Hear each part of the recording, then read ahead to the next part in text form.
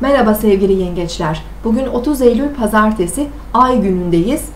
Aslan burcunda ilerleyen ay özellikle e, kişisel gelir ve giderlerinizle ilgili konulara dikkat çekiyor. Gün içerisinde öğleden sonraki saatlerde bazı sürpriz gelişmeler yaşayabilir. E, sürpriz iş teklifleri veya gelir e, fırsatları ile karşılaşabilirsiniz.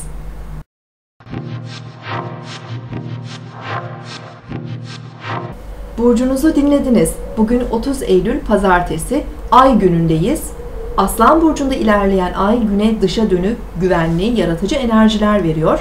Ancak sabahın ilk saatlerinde Ay Satürn karesinin etkisinde olacağımız için duygusal olarak biraz sıkıntı ve karamsarlık hissedebiliriz. İlerleyen saatlerde bu etkiler yavaş yavaş dağılacak. Öğleden sonraki saatlerde Ay-Uranüs arasında oluşacak üçgen açı enerji ve motivasyonumuzu arttıracaktır. Hareketli, sürprizli, eğlenceli bir gün geçirebiliriz. Sosyal faaliyetler, hobiler, sanatsal çalışmalar için oldukça uygun bir gündeyiz. Yarın tekrar görüşmek üzere. Hoşçakalın.